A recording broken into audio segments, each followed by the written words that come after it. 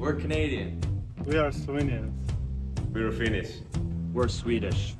We're American. We're British. We are French.